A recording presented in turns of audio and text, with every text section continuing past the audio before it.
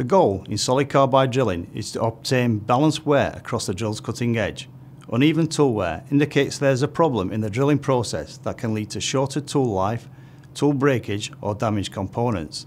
In this film, we will demonstrate how to identify and rectify tool problems and workpiece errors when using solid carbide drills.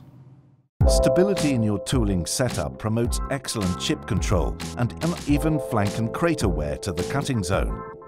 Good chip formation and evacuation is essential to a successful drilling operation. The workpiece material, choice of drill, coolant pressure and volume, and cutting data are all important considerations. Chip jamming can cause radial movement of the drill and affect hole quality, drill life and reliability. Chip formation is acceptable when chips can be evacuated from the drill without disturbance. The start chip from entry into the workpiece is always long and does not create any problems. Chips are formed from the center to the outer corner of the drill, Examine the chips.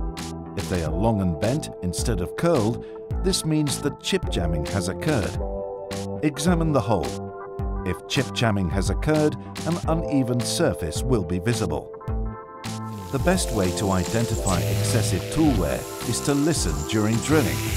A consistent sound indicates good chip evacuation, but an interrupted sound typically means there is chip jamming. In addition to poor chip control, there are a number of other factors that could indicate excessive tool wear, including a rise in machine power, increased exit burr, excessive heat or noise generation, and, of course, tool breakage. When examining a solid carbide drill, note that there are many different types of tool wear. A built-up edge can be caused by any of a number of factors. You can avoid this condition by increasing the cutting speed using a coated drill with sharper cutting edge, and using an external cutting fluid with a good percentage of oil. Chipping on the edge corner can be prevented by carefully monitoring your operation. Check to make sure the fixturing and tool holder are stable. Check radial runout and the cutting fluid supply. You may also need to decrease the feed rate.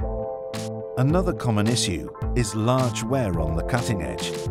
You can prevent this by decreasing cutting speed, increasing the feed rate, or changing to a harder grade. It may also be necessary to increase the fluid supply. Chipping on the cutting edge may also lead to operational problems.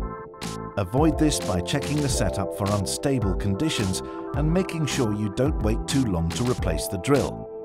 If allowable wear is exceeded, you can damage your workpiece.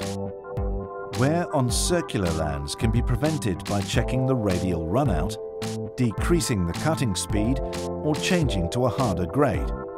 In some cases, it may be necessary to strengthen the cutting fluid with neat oil or stronger emulsion. Production issues can also be caused by wear on the chisel edge. Increasing the cutting speed or decreasing the feed rate should prevent this from happening.